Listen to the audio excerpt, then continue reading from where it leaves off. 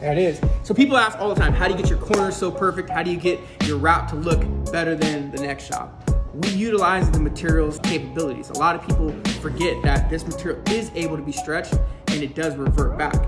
Sometimes the problem that we see in the industry is people overstretch and they don't allow it to revert back. And what happens is they'll cut their material, they'll finish the wrap job, and the sun will allow the material to revert back the wrong time. So it's about knowing the process, how to do it, using heat right, using the material properly. That's how you're able to do things like that. If it's done improperly, you can get a bad wrap. So make sure you go into the right shops. But that's a little quick technique that we do.